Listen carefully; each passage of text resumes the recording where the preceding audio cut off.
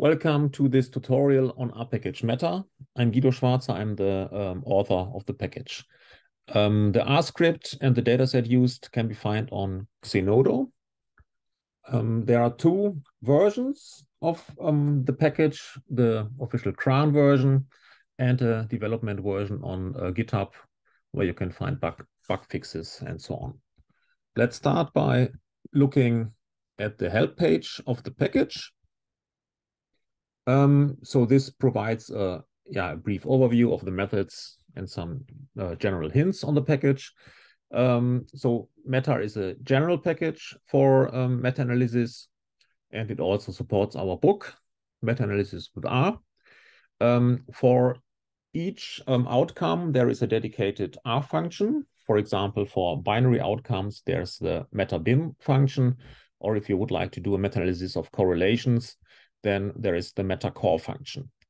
Um, the standard plots are implemented, forest plot, funnel plot, and some others as well.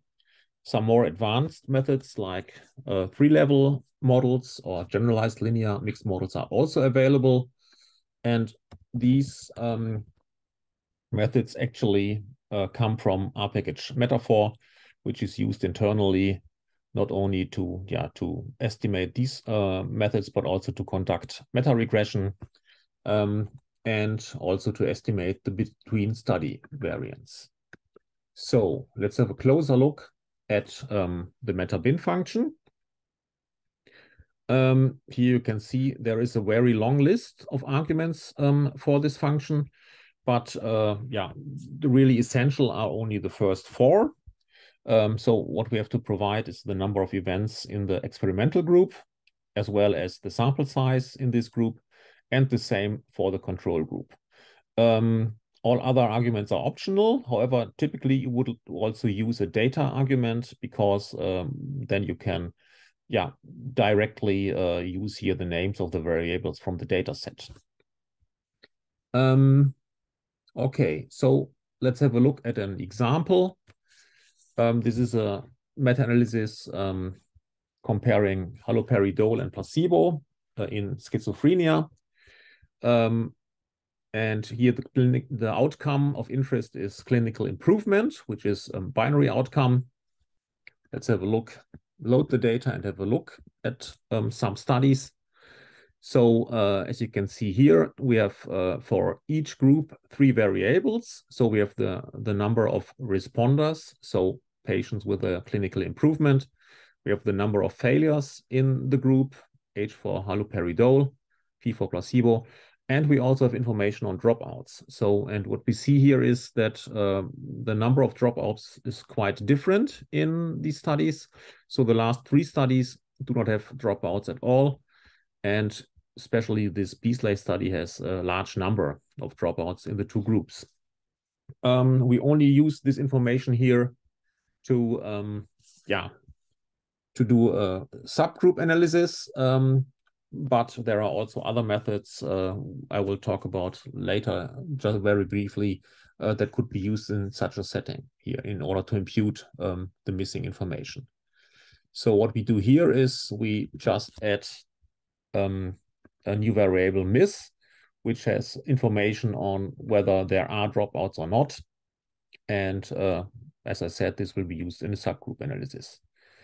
Here is then now the, the meta bin command for the meta-analysis with the, the, binary outcome.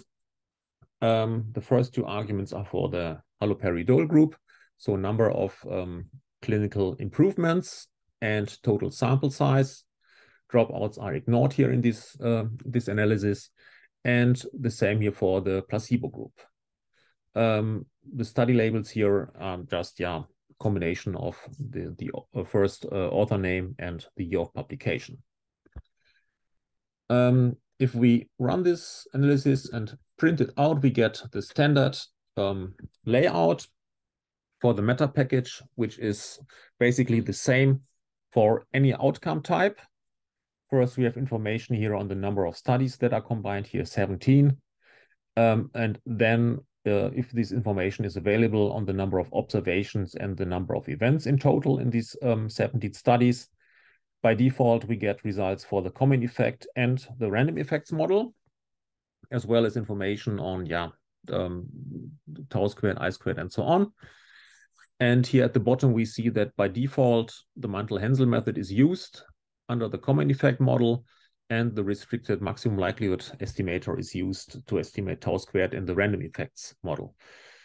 Uh, these are the default settings, but as I will show you later on, uh, this can be changed uh, quite easily by the user. Um, then we have here the summary command. The summary command is a yeah more detailed um, printout.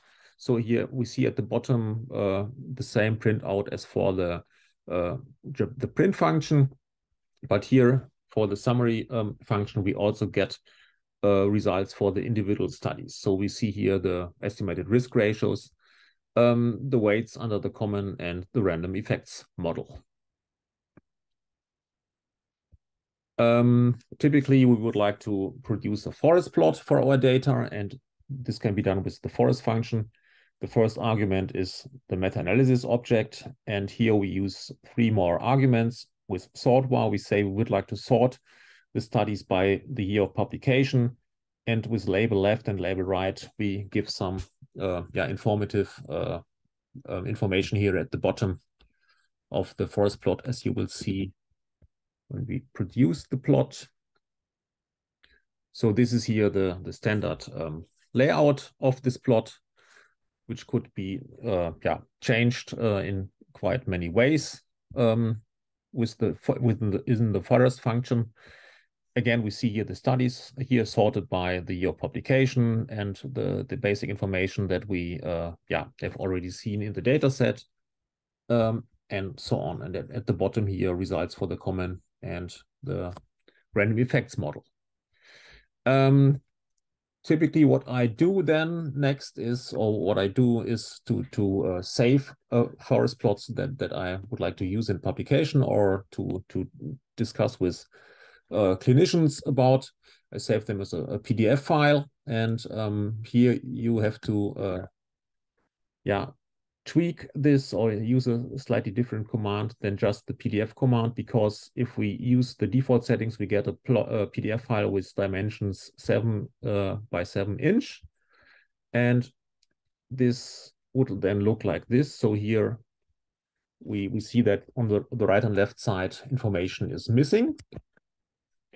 So uh, what one has to do is one has to provide the, the width and the height of the PDF file. And if we do that here, then we see that this uh, yeah is then a, a nicely uh, formatted uh, PDF file that that we could use either in a publication or to discuss. So, and what I do here is the only change is that I use here a different layout. So here I use the, the layout of RevMan 5 for the forest plot. Um, and slightly wider um, PDF file.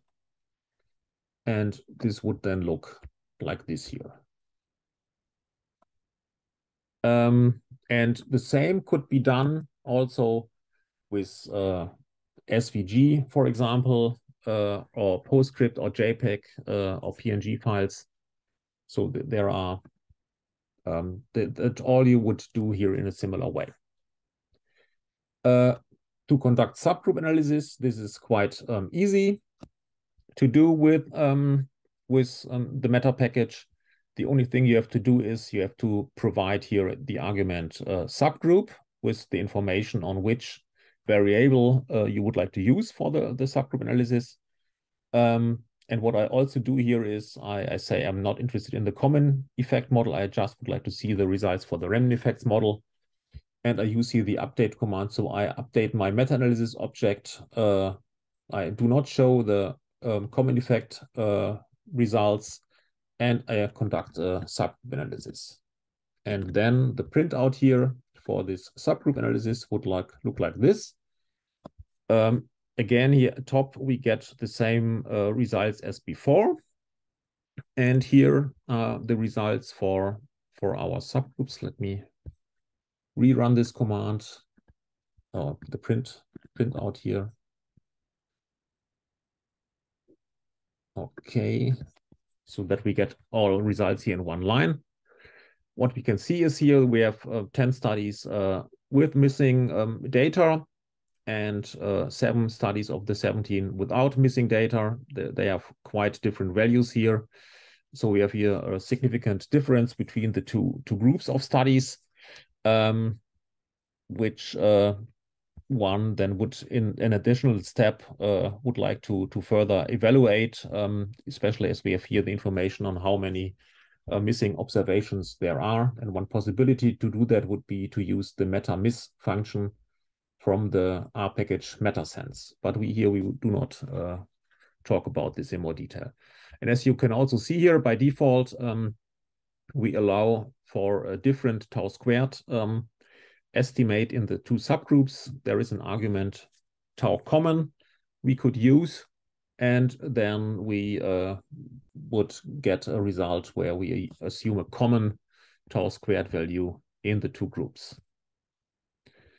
Um, some more information, for example, on the summary measures are um, available on one help site. So here, for example, for the meta-bin function, we see that the available summary measures are odds ratio, risk ratio, risk difference, arcsine difference, uh, and also here would we either vaccine efficacy or effectiveness. For continuous outcomes, um, the available summary measures are the mean difference, standardized mean difference, and um, the ratio of means, um, and and so on here for the other other methods. Um, and also, let's now look here at at the uh, uh, the list elements of a, a meta analysis object, because sometimes uh, you you are interested to extract some information from from a meta object, and then it's uh, yeah important to know which information is available where.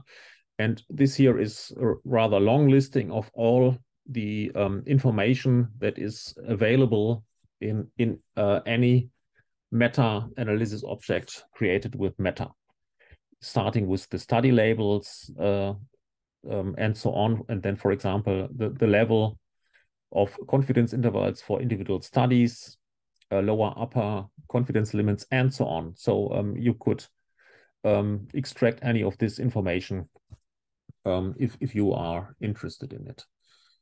And for level, for example, if we go here back to the meta bin function, we see here that by default, um, the, the value of uh, GS level is used here um, as default. And